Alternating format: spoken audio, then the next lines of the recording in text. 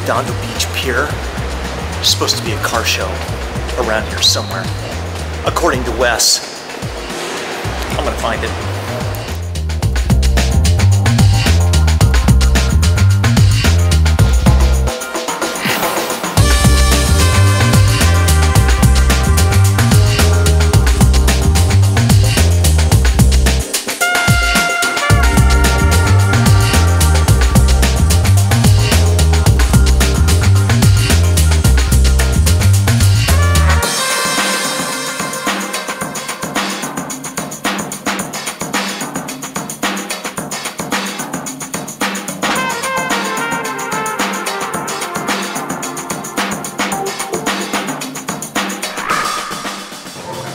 Cool, but Wes is cooler. Aren't you, Wes? I don't know about that one, but I think this is cooler than me.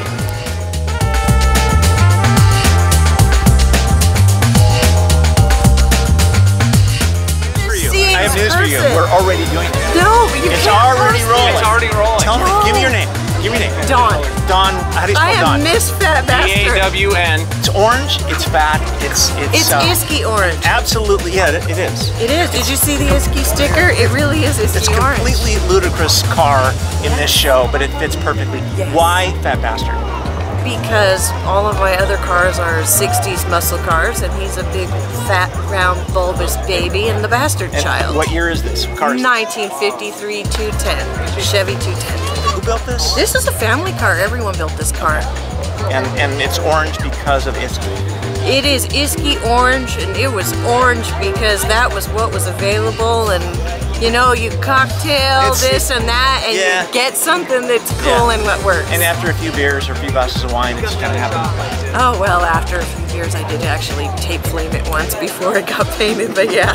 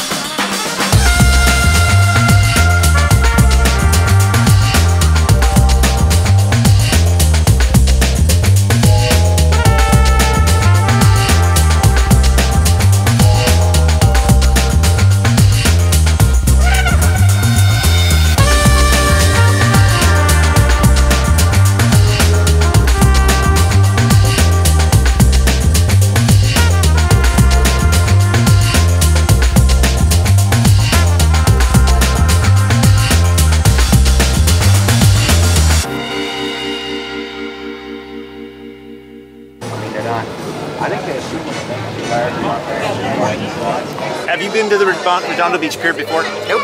First time. First time? But you're from more up north. No, I'm from Santa Monica, West LA. Like I said, you're from Santa Monica. You've never been on this pier? No, I haven't. Is it cool? I love it. It's beautiful.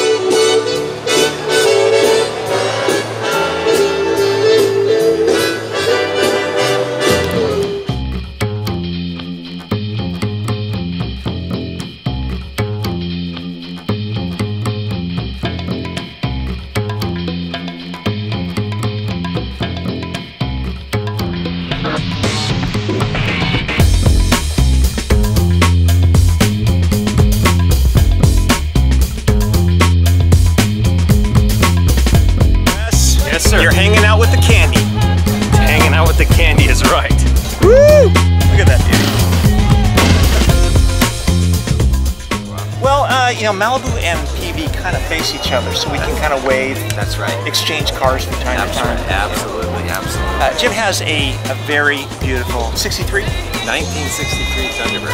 It's really stunning. That's cool. But so why why this car? Why is this in your collection? I tell you, I didn't even like Thunderbirds. I saw this online out of uh, a dealer in, in Ohio.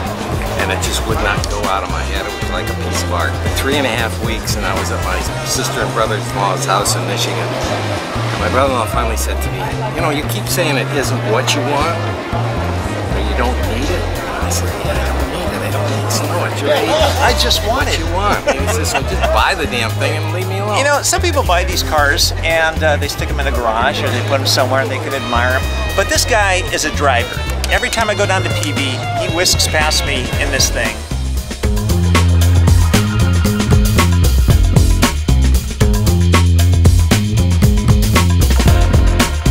So after a big meal, it makes it much easier to get in and out of the car. So, you know, the new modern cars, they go down and up and seats go all the way back. 63, it was, okay, we'll have a swing away steering wheel.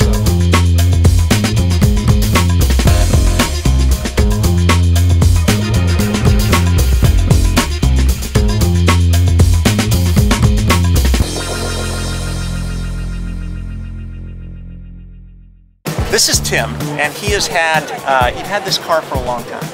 The original, about 50 years I've had this car. You've had this car for 50 years. What is the car?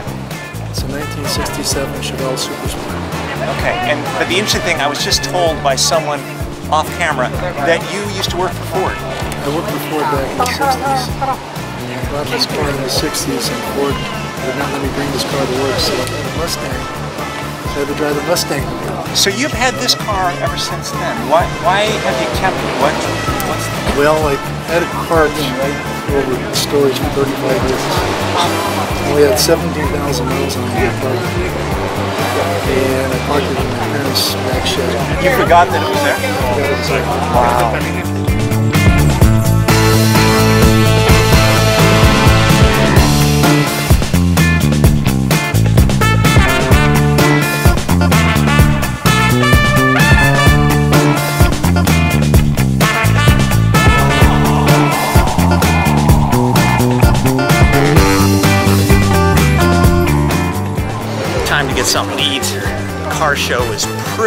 Spectacular.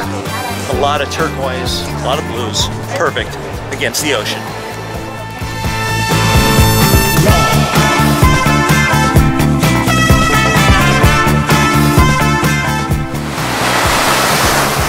Spectacular. A great venue for a car show. There's only about 100 cars here, maybe less.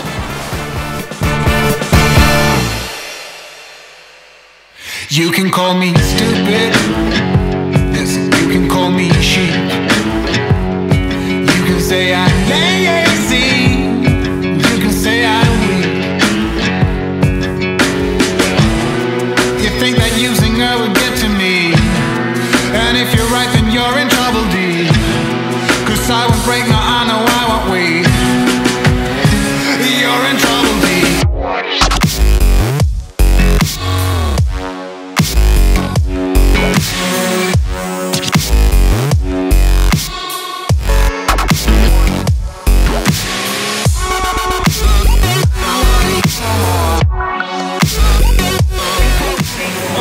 Right, all done with the Redondo Beach Pier car show.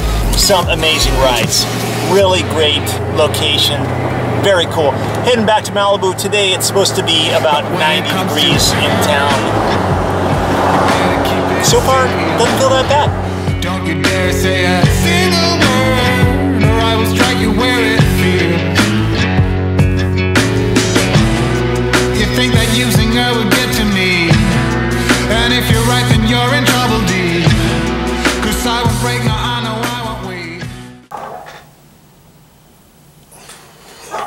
sure.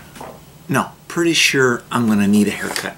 Starting to look a little Willy Wonka going on. Okay, I want you guys to get this because this is really important, uh, supremely important. You know, you go to a, a car show like I did today, and it's very hard to to walk around that car show and not be overwhelmed with the amazing things, the incredible things that people have done with their cars.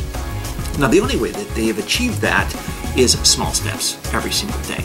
And this is really important because sometimes you don't realize what it takes to do something, how, how it uh, evolves, how things grow. And it's important because when you know how things grow and you understand that it's an equation and you do the equation appropriately, then you can't fail. There's no way to fail. Let me show you what I'm talking about. All right, you imagine you are at a, a pond and you take a rock and you throw the rock and it lands in the pond. And it makes, it lands like right there. See that little dot? That's you, this little dot. The only way to make this bigger and to expand is to focus on that because if you if you think about other things and do other stuff then you take your attention away from this and the only way to make that bigger is to focus on that look how do you get that to grow bigger well when you throw a rock into the water it creates energy and the energy expands outwards and it gets bigger and bigger and it dissipates over a period of time but it can go a long way same in case in point uh, a big storm out in the ocean and it swirls up the, the water and it does its stuff and it sends waves out all the way to Hawaii or to Australia, things like that. It's energy. Energy is important. What you put your energy into, what you focus your energy into, is what's going to grow and expand. And these are how these guys have built these cars. These are how I've done cars. This is how anybody creates something from nothing. To wait, the way to make things grow larger, larger, larger like this is to stay focused. Stay focused on what it is you're trying to achieve and don't let things distract you. These guys have built their cars and I've built my cars based on the fact that we knew exactly what the outcome was, what we wanted to focus on, and we stayed on point until we got exactly what we wanted. And I'm sure you can look back in your life and you can see how that's how you've achieved things too. So don't be overwhelmed when you see some of these things and how are you going to do this and how are you going to do that. Just figure out exactly what it is that you want and stay focused on it. Don't switch gears. Don't go from here over to here and over to here and over to there. Stay focused on the coolness and only coolness can come. And that is Vlog 447.